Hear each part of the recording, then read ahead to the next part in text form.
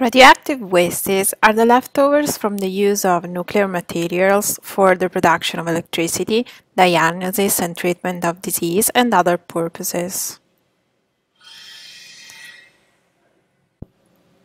But who regulates the disposal of these wastes?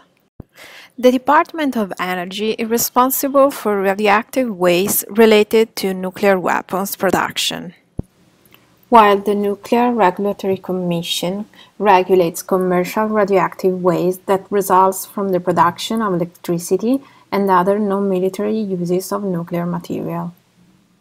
There are three different levels of radioactive wastes. Low-level wastes, intermediate-level wastes, and high-level wastes. Low and intermediate level wastes are generated from hospital and industries and includes paper, rags, tools, clothings, and chemical contaminated materials.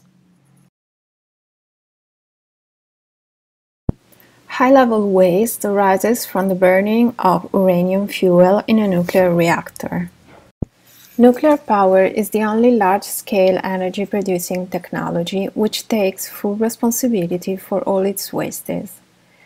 Used nuclear fuel may be treated as a resource or simply as a waste. Each year, nuclear power generation facilities worldwide produced about 200,000 meters cube of low and intermediate level radioactive waste and about only 10,000 meters cube of high level waste. There are two types of radioactive waste storage and disposal, near-surface disposal and deep geological disposal. Near-surface disposal facilities at ground level are usually located at about 30 meters underground. Many countries have adopted this storage system. The United States, Europe, and Japan. Near-surface disposals in caverns below ground are instead usually found at at least 50 meters underground. This storage system has been adopted by countries such as Finland and Sweden. The long time scales over which some of the waste remains radioactive led to the idea of deep geological disposal in underground repositories. This type of disposal remains the preferred option for many countries such as Australia, Japan, Russia, United States, and France. An example of deep geological disposal is mine repositories, that are tunnels or caverns into which packaged waste is placed. These are usually located between 250 meter and 1000 meter underground.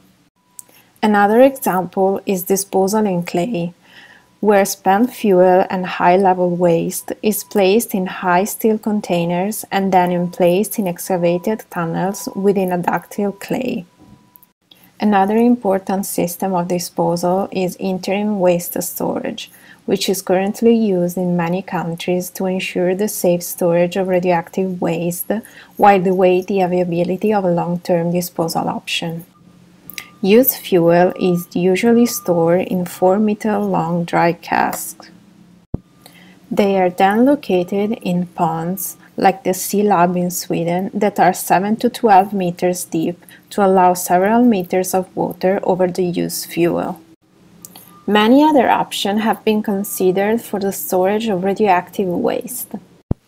One of these is drilling a borehole into a basement rock to a depth of about 5,000 meters and then place there waste canister containing used nuclear fuel or radioactive waste.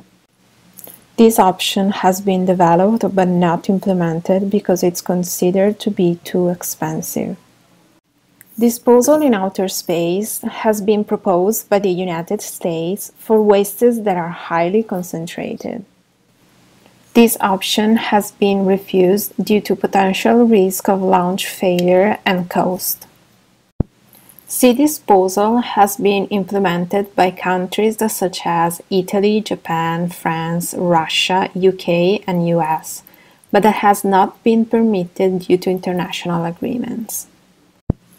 As we have seen, radiation wastes are produced from our everyday life activities. And many storage and disposal systems have been proposed, but not all of them have been accepted, and only a few are now currently available.